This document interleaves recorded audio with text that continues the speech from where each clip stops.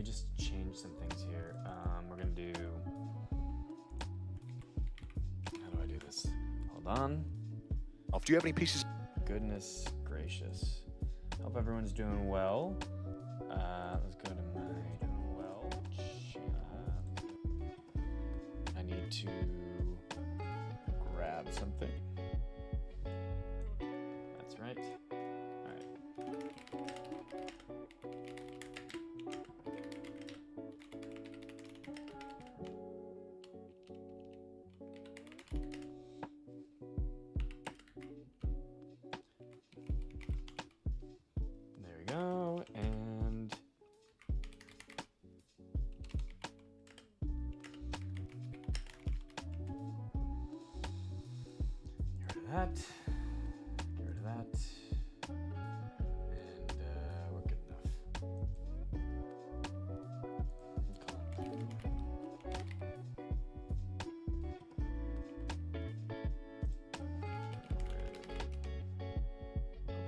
too loud for all of you. Maybe I'll lower the volume a bit. I've just been listening to this in the background. There we go.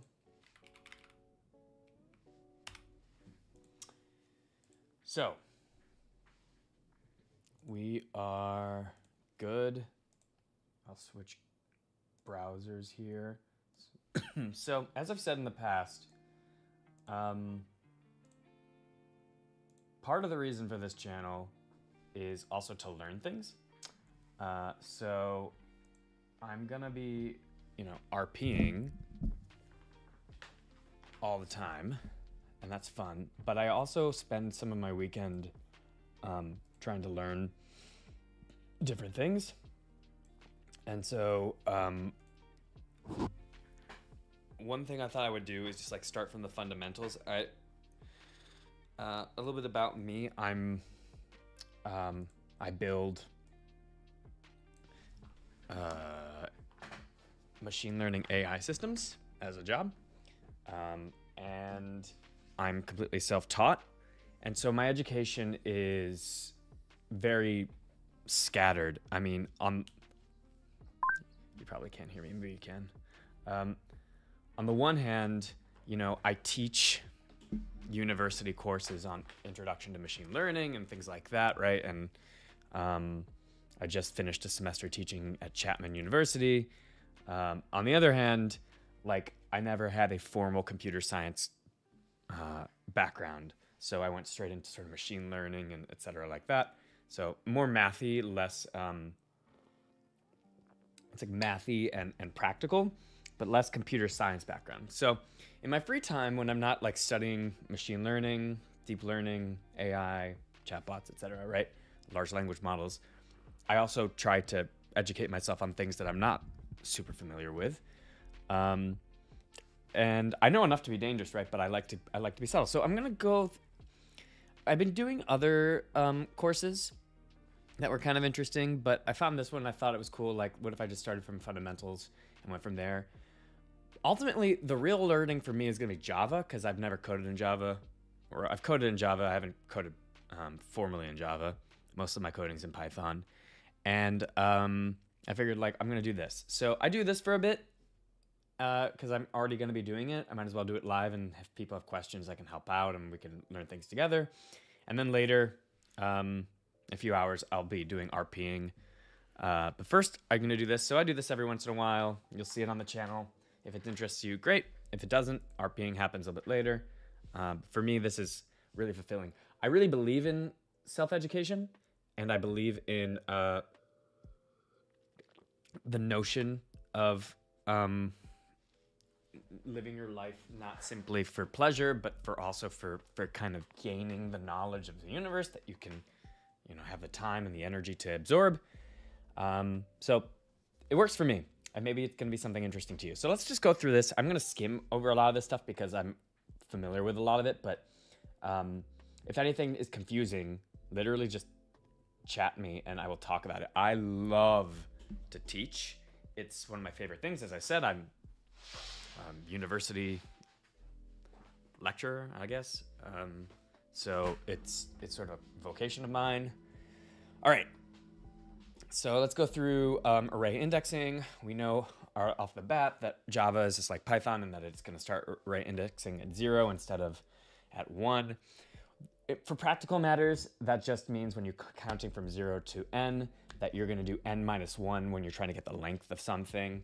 We're going to start with arrays, which makes a lot of sense because arrays are sort of like the fundamental object of most programming languages. Okay, so what do we say? It's say here we're gonna we're gonna go through a little bit of the education and then we're gonna go straight to the challenge parts and just like try to solve problems together and learn in the process. I find doing is much more informative and much more interesting than just reading shit. Um, and I love to read, but okay. So it says an index makes it possible to access the contents of an array directly. Yes. So an array is just to be a list of objects. We're all very familiar with intuitively with an array, even if you don't know computer science. Um, arrays can store primitive data type values, so int, characters, floats, boolean, byte, short, long, etc.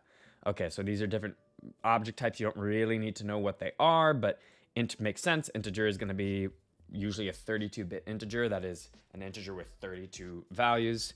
Um, character is going to be, you know, string. Floats are going to be some amount of, as you might imagine, uh, digits, but with decimals, booleans, bytes, etc., etc. All right, so you have one-dimensional arrays and you have multi-dimensional arrays. So you can think of that as just like an array or a matrix. Um, so that's basically the, the, what that's about. All right, in the array de declaration, reference of an array is created. Okay, so you can create an array like this with a data type and array name, or you can put the, the list at the end of the data type and the array name. So in Java, what's going to happen is you have a data type next to an array uh, or any object that tells the compiler what the object is is about. Um, so let's look down here as an example. Uh, you've got this class object. The class says, okay, here's a thing that's happening, and we're calling it 1D array. That is a one-dimensional array. Uh, first, in Java, it starts like this. It's going to start with public static void main. What does that mean? Public meaning it's accessible to anyone. Static mean it's going to be a thing that just comes back. Void meaning there's not really going to be anything returned from this object. And this is just the inputs that Java expects from every main argument in a class. So this is a common, uh, common structure. Anything between these two brackets here means an action. Uh, anything between, between these two is a condition. So the condition is there's a string of arguments being passed that are our list. Okay. Um, and as we saw here, just like above, you're gonna have a data type and then the you know array name. So in this case, it's gonna be args as an array. Fair, fair enough. So here is going to be an integer with an array uh, as a list or an integer list as an array. Either way, it's the same thing, but it's just two ways to do the same thing. So you can run it and you'll be happy. Great.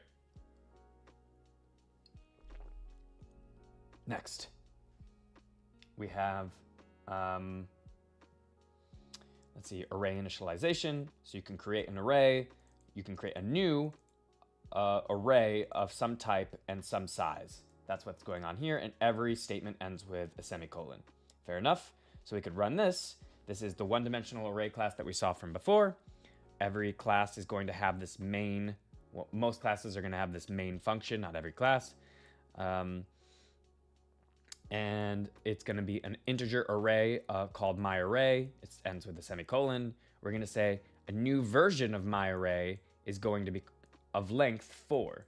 So the, the thing that we're learning here is that an array can be dynamic or it can be static. And so the first lesson we're going to learn is about this idea of arrays. The second, or static arrays, what we're going to be looking at are static arrays. The second idea is dynamic arrays, right? Arrays with not fixed lengths. That's what a linked list is. You might have heard of it, maybe not. Um, so we're going to go into linked lists and then stacked queues, graphs, trees, um, advanced trees, heaps, hash tables, and then we're going to be done. So good stuff. It's gonna be fun. Uh, so here we've got, we're saying, give me a static array of length four. And the idea here is that if a computer knows ahead of time, like the most efficient kind of array is a static array because it is a fixed memory. So when a computer calls it, it doesn't need to hold memory off for the array. It just says, this is my array, it's length four. I have memory for it. I know where it is. It is always there. Great. A dynamic array, which we'll see later, is going to be variable, right? And therefore, it's going to be more complex. So we've got an array of length 4, um, but we don't have anything in it. Um, great. Next, what we're doing is we're saying we're going to access elements in an array, right? So we could do this. Okay, that's what I thought. Cool. Uh, so here's here's what's what's going to happen. We're going to go through a for loop here. So we're already exposed to for loops. For loops are as follows. For some action between these two parentheses, something we're going to do I'm sorry, for some condition between these two parentheses, some action is going to take place between these two brackets. All right. So you, we can we'll go in one one by one of these types of things, but in this case, it's going to be there is some object i of integer type, so it's going to be an integer object that is equivalent to the value zero. i, this object here that we just created, int i, is an integer and it is less than a it is less than the length of my array and then we, we do a semicolon here. And then we're saying increase the value of i by one. That's what this means. So we're saying for some object i as long as i is less than the length of my array increase the length of my or increase the value of i by one. Okay? So we go through and we say, as that condition holds, what are we doing? We're saying print out, this is just how Java prints out objects, print out some line from my array i, and it's printing out zero every time. Why? Because there are no values in this array. We didn't give it any, so it's just gonna be four zero values. So it goes through and it says the index at zero, the index at one, the index at two, the index at three, the index at we can't do any further because this is of length 4 and 0, 1, 2, 3 is 4 objects. 0, 1, 2, 3, right? So this would stop before it went to index 4 because if it went to index 4, we would have gotten an error. It's a static array, and so it's to cause an issue. All right, so that's that. Next. We can also declare and initialize an, uh, the array in one step. So we could say this, we could say create of some data type list or data type list here, some new data object of size X. So you could do that, everything we did here, these two things combined into one. It would just be int my array equals new int blah, blah, blah. Great. So we're gonna do that right here. Yep, and it's to return the same exact thing. And it did. Adding or updating elements in an array. Okay, so we understand that you can create some array of length 4 of some arbitrary length. What are we going to do now? Now what we're going to do is, uh, let's see, adding or updating elements in an array. Okay, so obviously the next step for an array, it seems to me, is to say at some index value in an array, we should be able to assign a value. I know this may seem low level and maybe even kind of boring, but we get through this one thing quickly and we're going to get to actually complex and interesting problems that are applicable that I go through every single day when I'm doing my work. Um, and by the way, you follow along here, you do your own studying, and I guarantee you, you can get a well paying job. Not that that's the only thing that matters, it's actually an interesting job, and that's ultimately, as long as you can pay your bills, the thing that is, you know, compelling an interesting, compelling job in this industry without having to pay for a degree like I did. That is, I didn't. I didn't pay for a degree. I'm self taught. And you can really work with some of the most intellectual, most interesting people in the world, often who also don't have degrees. I know people who uh, didn't graduate high school. I know people who didn't graduate college, and they are well off, they are influential in the industry. The great thing about this field, in my opinion, is it actually is very insensitive to degrees. Um, there are definitely places where they're like, you don't have a degree, get out of here. But I found by and large, like FANG companies like Facebook, Amazon, Apple, Google, uh, Netflix, whatever, like they don't need you to have a degree. They just need to know you can do the job. So if you can teach yourself these things and you're interested in this field, that's that's it. And by the way, the whole point is you're learning something very compelling and very interesting, and in my opinion, um, that says something about the world in and of itself once you get to more intricate, interesting problems. And it also teaches you a lot of interesting qualities um, about how to live your life. So, all in all, I think it's sort of worth it. Anyway, that's my spiel. I'm going to keep having those that spiel time and time again. All right. So you have some integer array called my array, and you're creating a new list of length 4 for that object. Now what we can do is this, like we're, we're you know, explicitly saying, okay, index 0 is going to be length is going to be value 10, index 1 is 20, 2, 30, 3, 40. Great. So that's the whole list because of 4, we start counting at 0. And then you could go through and what you'd get is the values of that array. But then you could update the value. You could say, well, what's wrong if I just went to this list and changed the value of 40 to value 900? There's no reason why we can't. And if we ran this, what you're going to get is first those values, then the same values, except that the fourth one is going to be 900. Indeed, that's what happens. All right.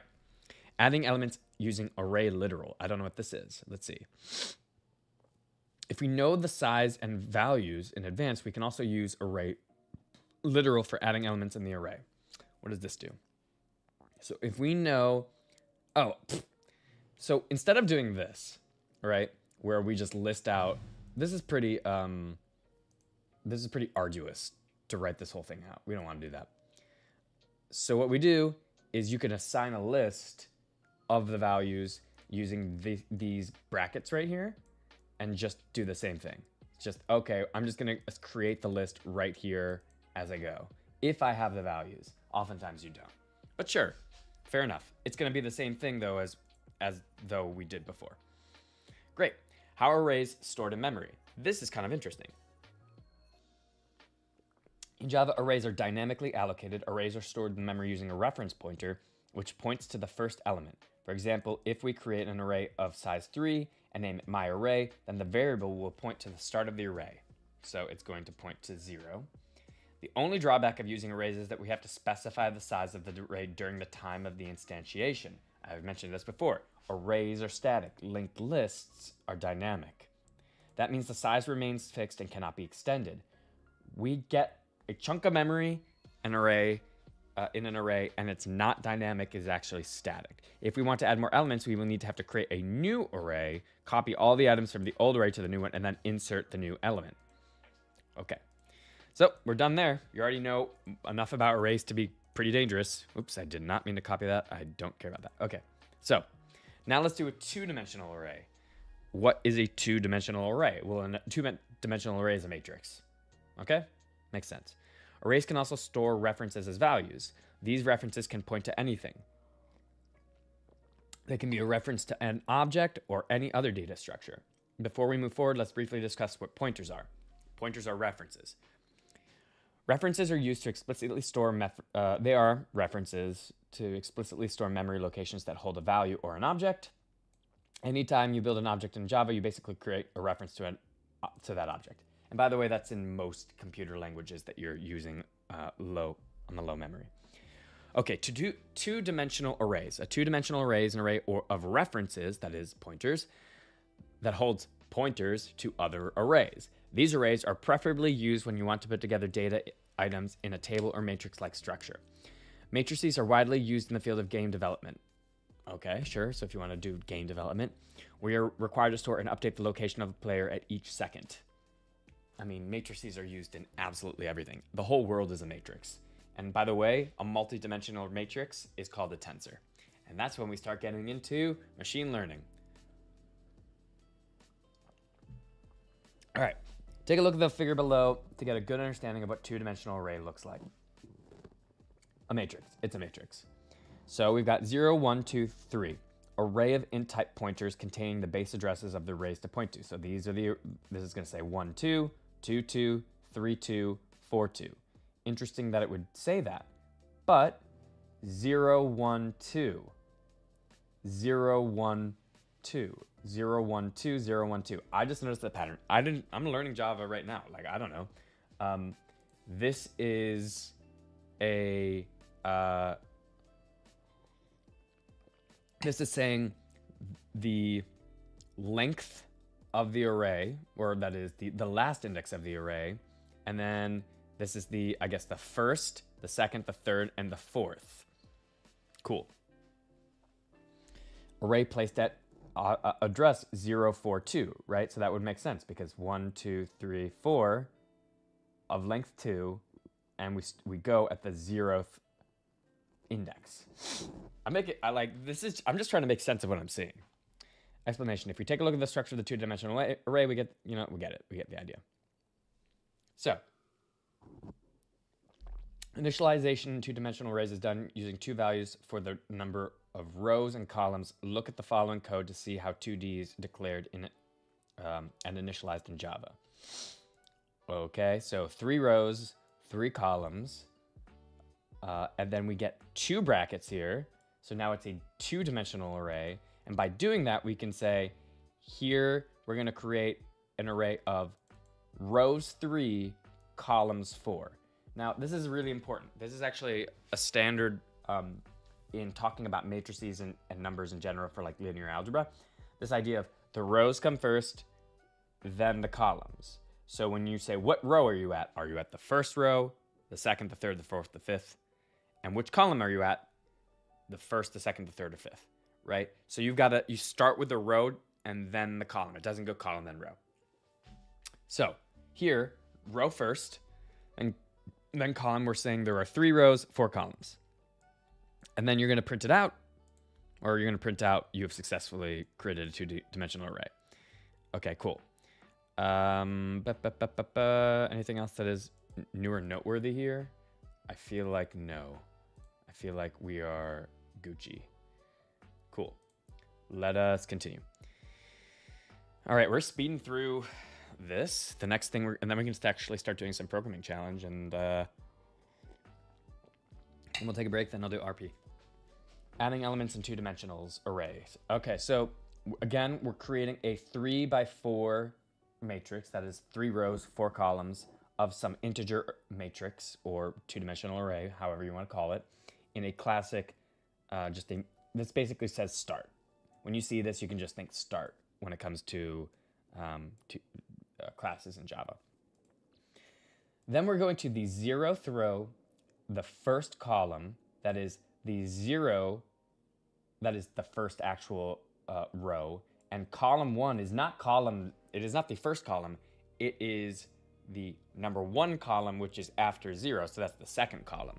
So it's really the first row, second column, assign the value 10. Now if we go through here and we check that array, what's gonna happen? We're gonna get the value 10. So that's that. Can you look at the following code and point out what's wrong?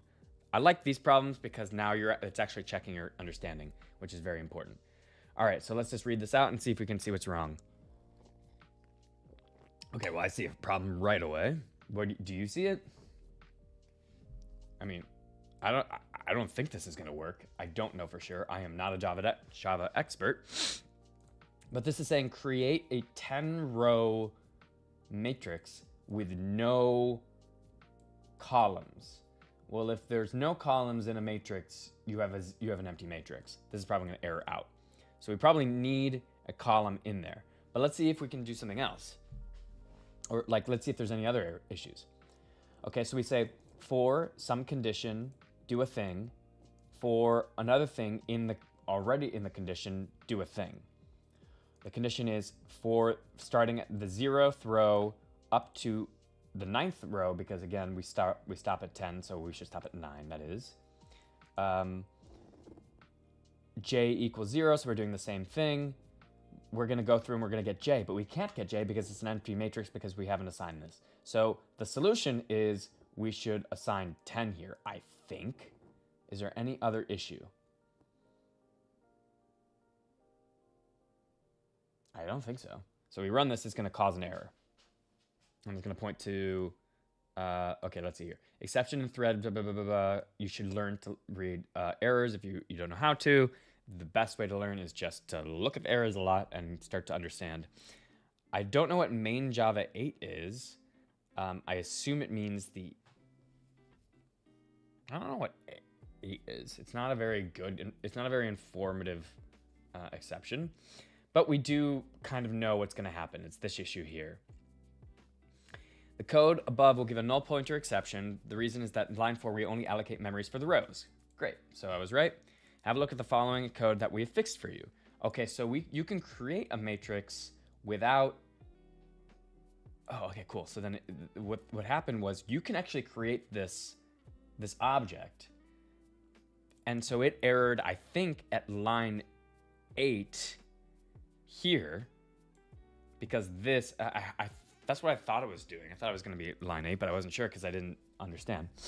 Um, because this is the only, this is the first point we call a jth column in which the jth column doesn't exist.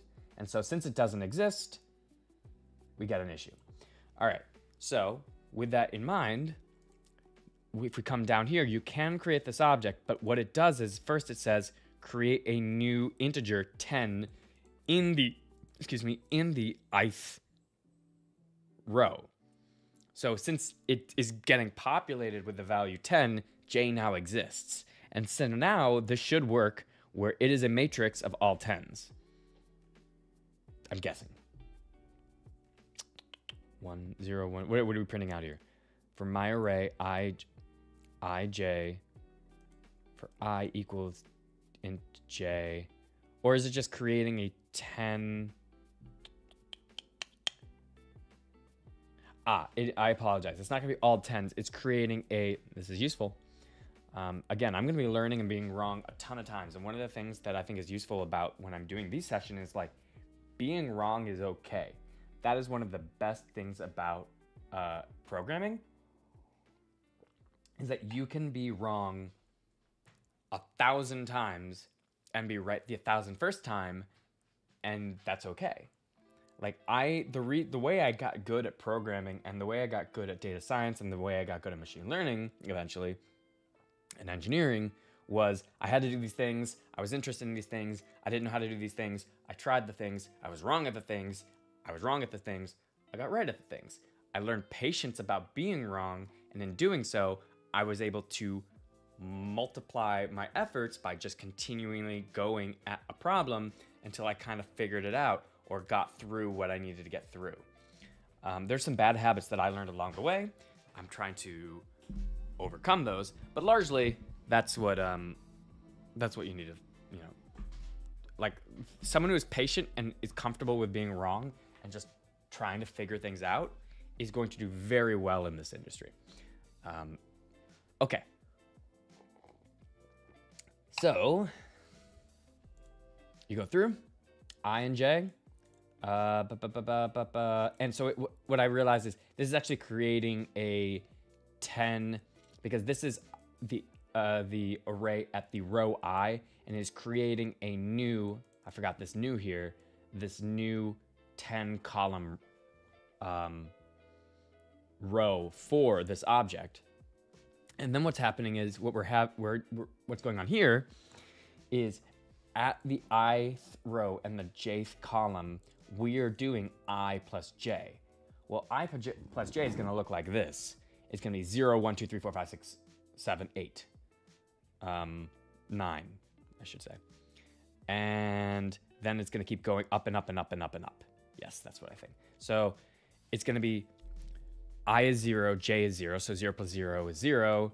i is 0, j is 1. So 1, i is 0, j is 2, all the way up to 10. Then i is going to go up to 1 and j is going to be 1, so now it's going to be 2. Then it's going to be j, keep going up while i remains the same, so it's going to like like that. Then iterative, iterative, iterative until, again, you get to both of them at 9, which case it should be 18. It's the highest value, and it is. So that's what's going on there. Great. So we learned some things about how, uh, I guess, two-dimensional arrays work in Java. Fun stuff for us.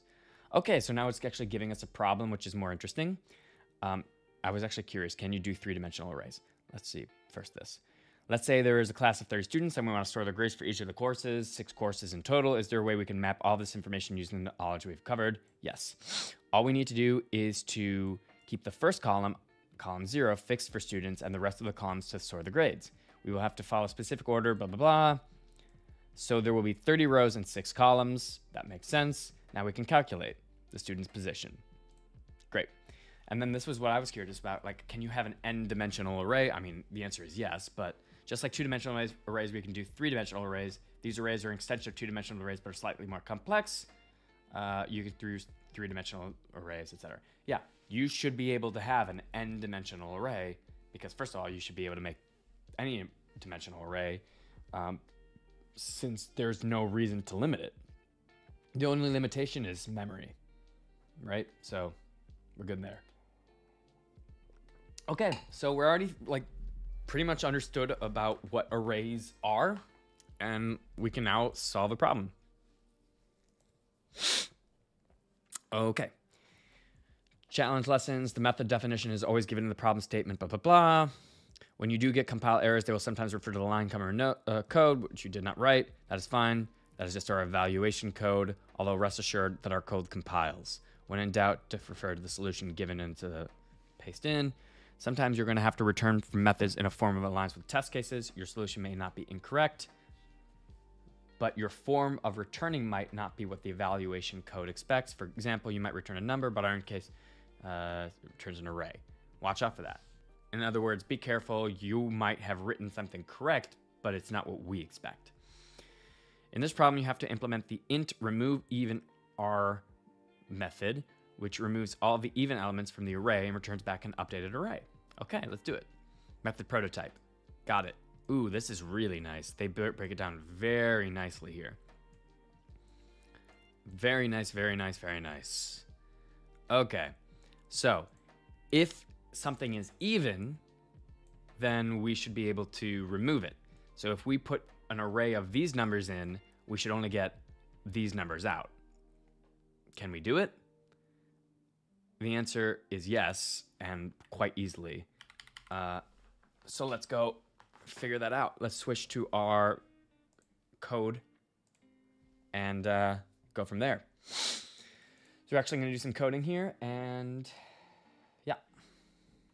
Ba, ba, ba, let's create a problem session. Let's call this um, remove evens. And then it's going to be called uh, remove evens because uh, in Java, you the first letter is lowercase, and then this I think it's called Pascal case, and the second letter is uppercase. I'm pretty sure that's how we do it. Okay. So let's take what the code they gave us just to make it easier for ourselves. We don't need this. Save it. And they're going to say, oh, what's, what's the issue? The declare package does not remove. Uh, that's fine. I'm pretty sure. If I shut this. Yeah, we're good. Okay. So this is the, this is the, the, the method they gave us. But before I do that, I am going to, oops, I am going to grab uh, a some. So what what did we say before? We said public static void main condition string args list. There we go. So this way we could run remove even, and then would be um, some object that we create. So we'll call it this. And um, we're gonna say new. Oh, it's gonna be like this. It's gonna look like this. Let's call this test. Hold on. So it's of that type. And I believe, what else? What else? Is not check remove even. What else do we need here? What am I missing? Uh, the whole point, again, is that I don't know all the answers, um, and that is okay. We're okay with that here. It's going to be. Oh, did I put a new there? I did not. There we go. Great. So we got our answer. The because we have a the type is, is the class right here. Then what we need to do is give it a name. This is the object that we're going to reference to. It's going to have a pointer to that object. Then we're going to want to create a new version of it because it doesn't automatically create a new version of it. And in order to do that, we have to say this is a new version of this integer type, and it is a class. So we give it a those uh, parentheses to instantiate it, and we are good to go. So now what we could do is we could say test dot remove even, provide it some uh, numbers, and then we'd know we're we're on our way, and then do this. But removing even is going to be set, uh, it's going to not be happy because it's not being provided an integer array. So what we need is to first create an array of integers. So let's take the test case from from before uh, we saw before, which is uh, it's going to be of type, or it's going to be of these values right here. It's going to be, but we need to give this, what do we have to do here? Int, and I believe a list. So we could call it this, and we are we are okay. So it expects to return an integer list, and it expects an integer list provided. So far, so good. So we'd say of this argument, let's call it instead of r, let's call it um, test, and this should be called um, we'll call this class. So this makes a lot more sense. Class because this is class. Okay, so we provide test to the argument, and this says this re- static remove method should be accessed in a static way. The static method should be accessed in a static way. Seems to me like it is static. Uh, oops. We could say.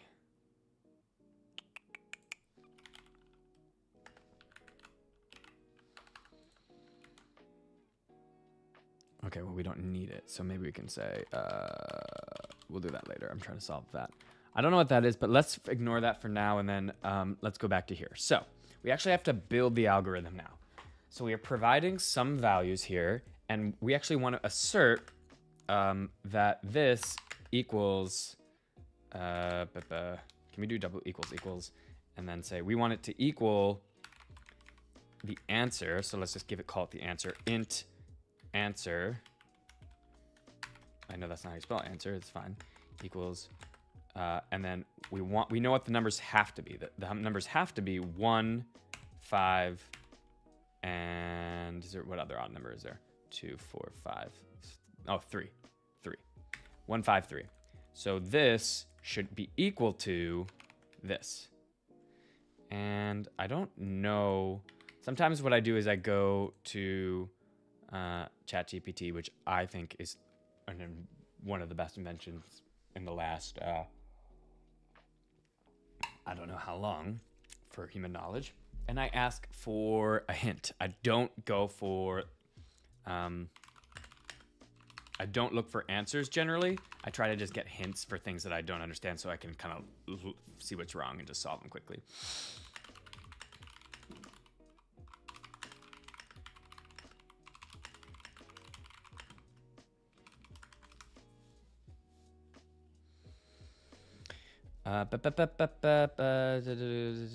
Remove is declared as a static, which means it should be called on the class itself rather than an instance remove. Ah. Ah, okay. So we can just do this. Get rid of this.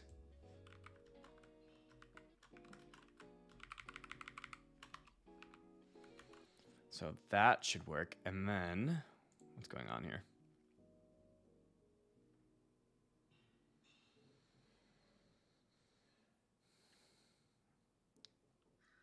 I see. Okay, so in Java, there's a way that you compare arrays, and it's this. You say import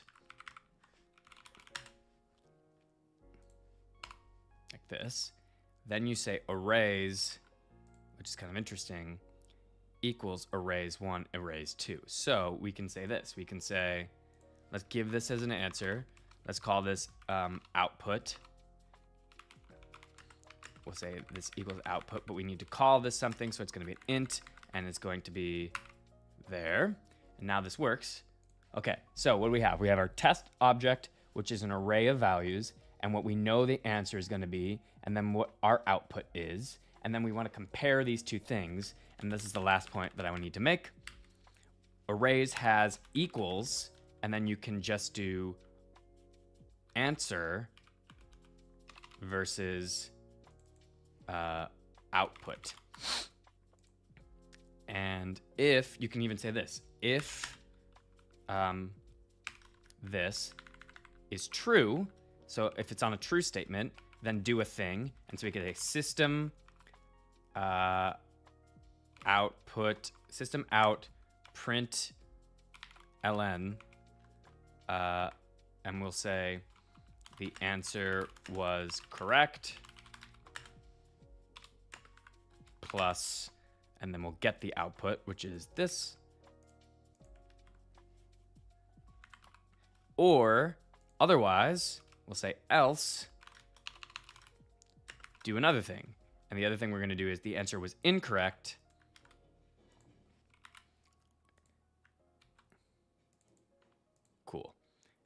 And what is wrong here? Else, delete this token. Uh, we don't. I guess we don't technically need it. We could also just do this. Great. No, no, no, no, no, no. We do want else because otherwise it's gonna. Why are you saying that's wrong? Maybe. There we go. That's why. Okay, so we are almost there. We still need to solve the actual answer, but we've built it out properly. And so since this is a, by the way, I didn't answer this, but since this is a static class, this is return a static uh, method. All, all, you need to do is just call the class itself. You don't have to initialize it or anything, and you can just use the method. So we're just going to use the method right away, and that's what the issue was. Uh, okay, so we are almost done. We've got our testing logic and everything. We just need to figure out the answer. So the answer is replace this placeholder, uh, placeholder return statement with your code. Good enough. We can do that. So we have this object result and it is creating this new int object whatever. Well, we could just do this. Um, why is this happening? R cannot be resolved. I guess we can't. Interesting. Why is this here? I actually don't know the answer to that.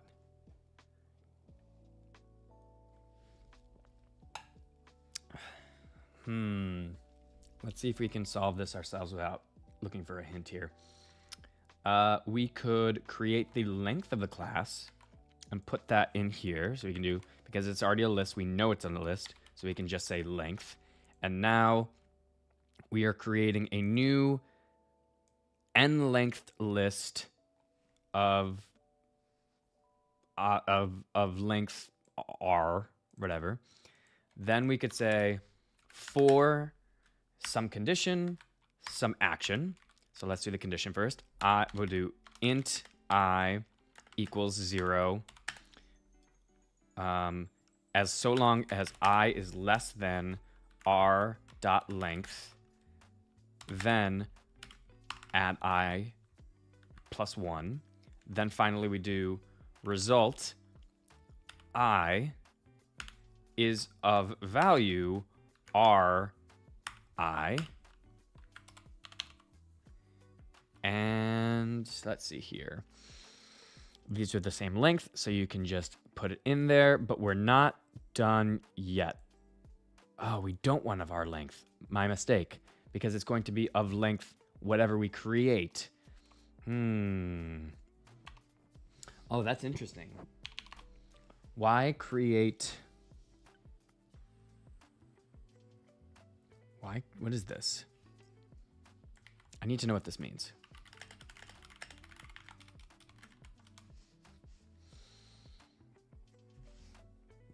It's an empty array of integers. I mean, I figured that.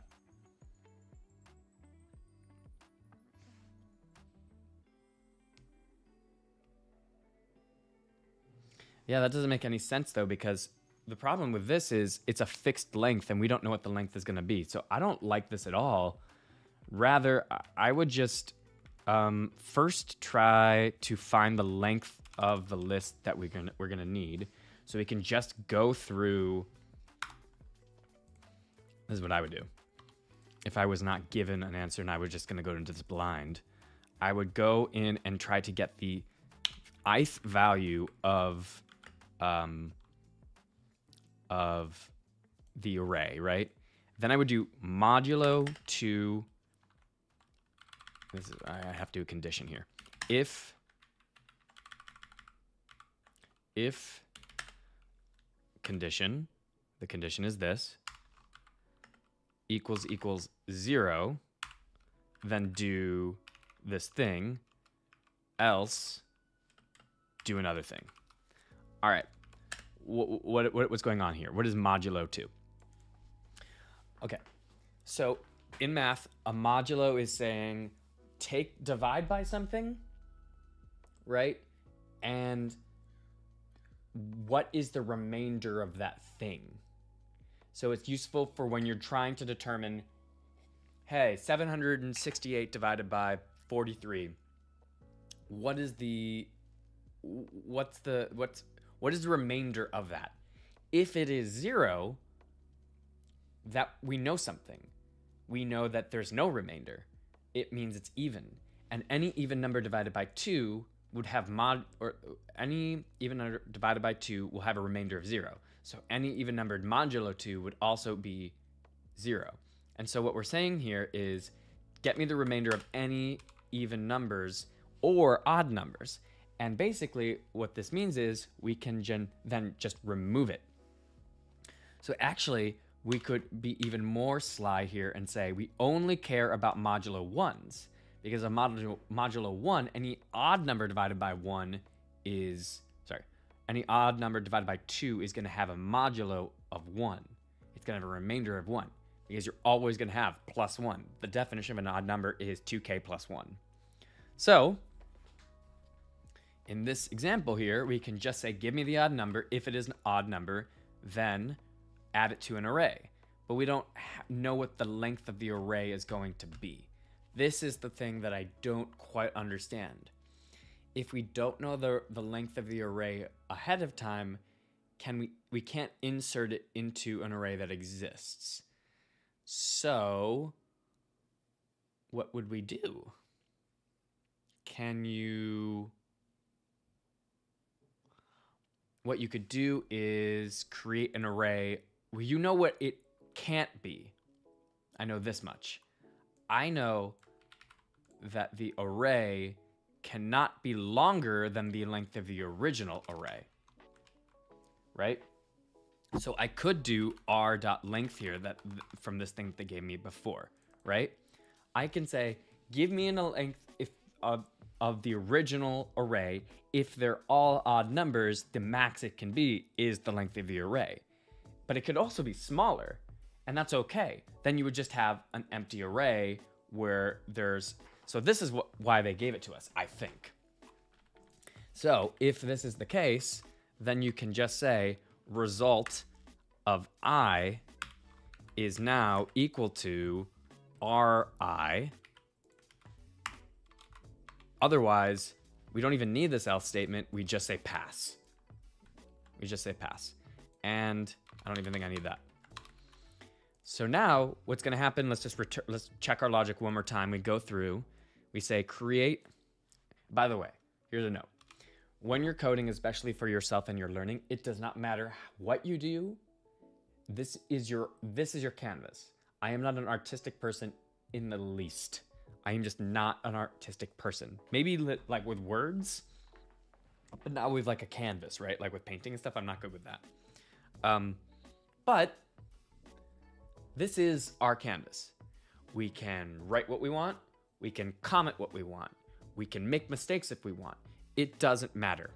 And so, what that means is you can write comments up the wazoo. It doesn't have to look pretty. You should not feel self conscious, or ideally, you don't feel self conscious.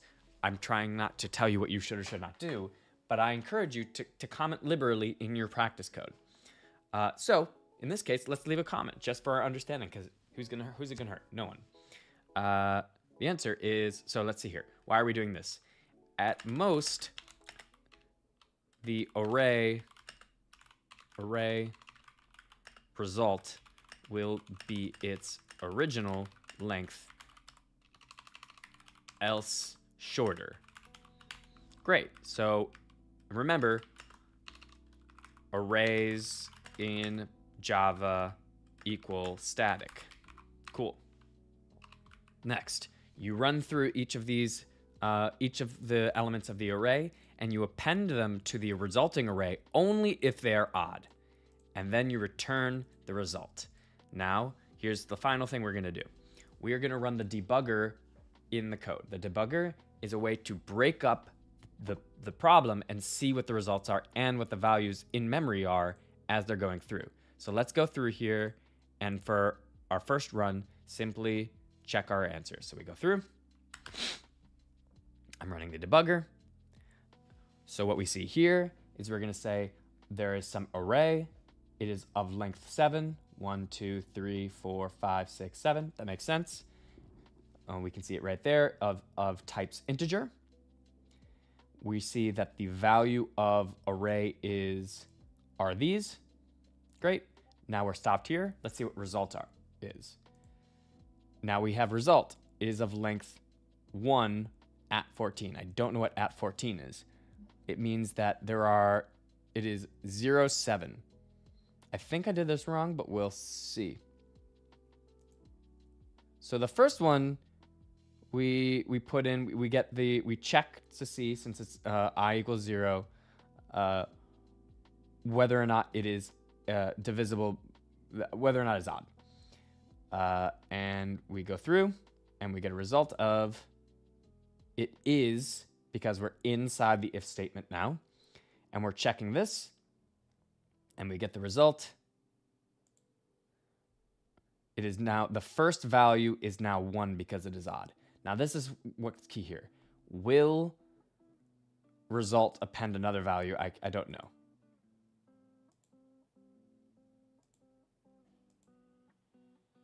It will not because it's an out of bounds error.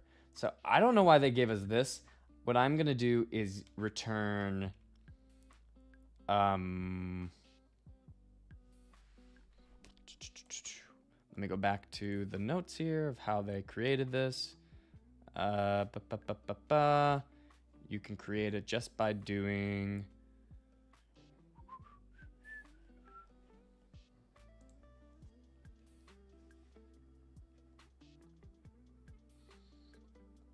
Yeah, bruh. I don't know why they did it in the other way.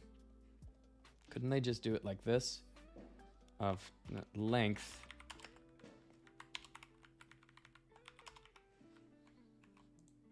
And do we need new int 4? This should work. Int result new int. There we go. Now let's try it in the debugger. I was really not confident with the other method. So, so the reason that we had an error before is because it only created a single value, and that I was confused on why that occurred. Now, if I look at result, hopefully it's as long as I think it should be. It is. It's as long as I think it should be, which is the length of array. So now I'm much more confident that we can go through. Okay, the first value is one. The second, va- uh, the third value is five uh, and the last value is going to be 3. All right, so that did work, but we have another problem, and I don't know the solution here. Um, so let's just get the answer. Uh, we know enough that I'm just I'm comfortable saying it's some nuance of Java that I need to know.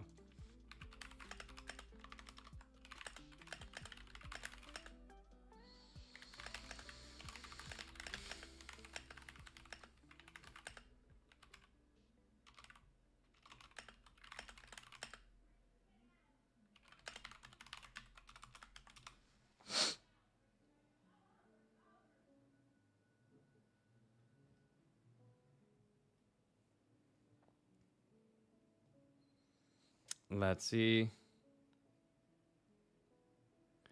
Yeah, see, that's what I thought. That's annoying as. That is just annoying. Okay. So. This is interesting. Basically, this is how it's going to work. Um, I, I saw this sort of right away and I didn't quite understand why this was happening. Basically, the only way we can do this with a static array, because we're not using dynamic list, uh, we're not using linked list. In linked lists, this would be much easier. We just start with a node, you'd keep adding nodes for the dynamic list. But in this case, since we're working with arrays which are static, we have to do the following.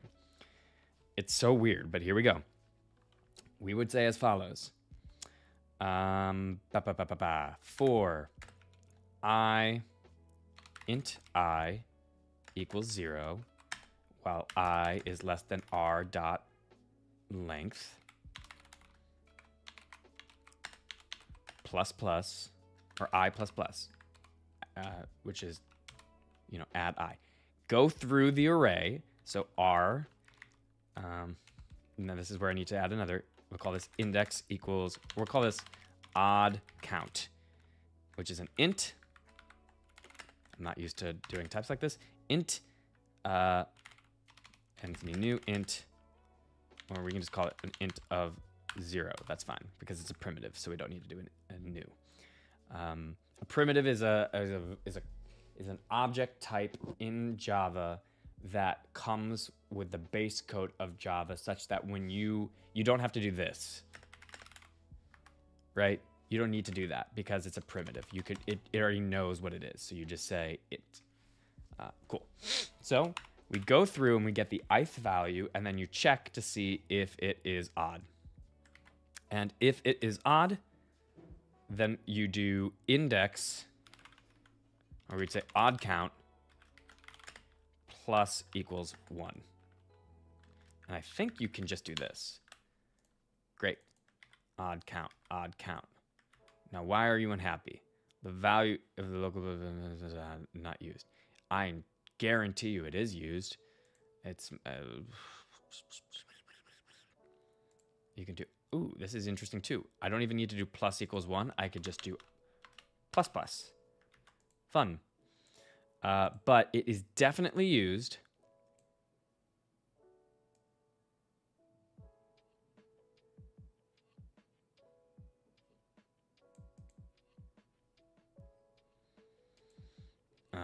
That.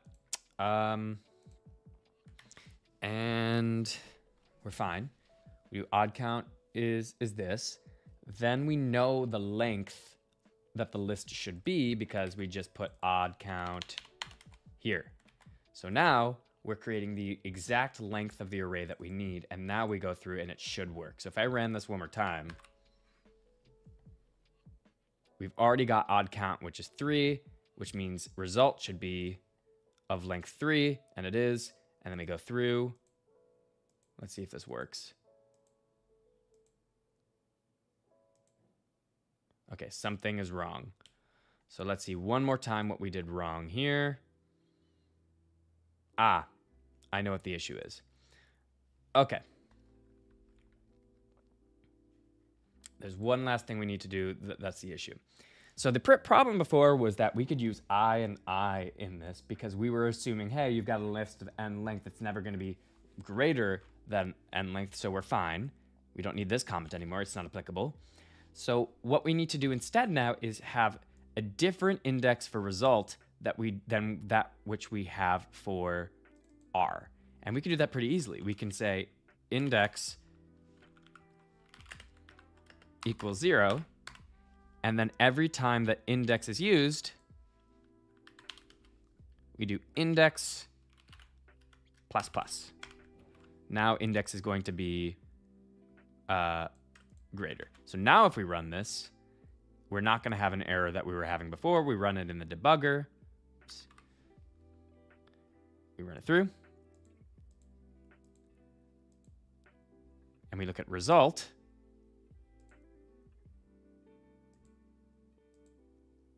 Okay, five is in there. We see five right there. and now we have three. And what we expected to have was one, five, three, and we've just solved our first challenge, y'all. Well, in this system, we've solved challenges before, but there you go. We just solved a, a Java challenge uh, removing in, even integers. So one last thing I'll say is that when you're actually using Java code, what you have to do is compile your code. The debugger will do it implicitly for you in the IDE. That's the environment that we're uh, coding in. But uh, if you, you know, you really do actually have to compile your code so that it's going to create this class right here. So that then you can use, you can run javac. You can write Java, your Java code, and ooh, interesting. We're getting back. What are we getting back there? Hmm. Because it's just it's not a string object. Uh, that's interesting. How would we? I think you would have to just remove this because you can't. Um. Yeah, you can't put the actual value in here. This isn't like Python. So we can re. If I ran this again, see how I changed that code? and now I'm running Java on it again, you're going to get... Well, shit. That shouldn't happen. I didn't recompile the code. It must be the IDE that did it. That's fine. Okay, so there you go. We we just solved uh, evens for for Java. Nice nice work. And um, yeah, so now what we can do is we can take this answer. It might not like how we re we return everything, but let's try it. We go back to the browser and it's looking for uh, it's looking for an answer. So let's go down to the challenge, right? And let's put our answer in there. And we're gonna put that in there. Let's see what we got. What we got here. Is everything what we think it should be? Ba, ba, ba, ba, ba, ba. We're gonna run it. And it ran on all of our test cases and gave it back what it uh, what belonged. So now if we submit it, let's see if we passed our coding exam. We passed our coding exam. Nice work, everyone. So we have correctly solved it. If you want to look at a different answer, you can. I don't feel like I need to because we solved it and we solved it pretty well. Um, I will look at it. Look at this. They did the same thing. Find number of odd elements in R. So I don't know why they gave us this the initial code or whatever. Didn't look look the way it did, but fine with me. Okay, so mm, can we do this in 20 minutes? I don't know. Let's see. Uh, let me just check to see where we're at here.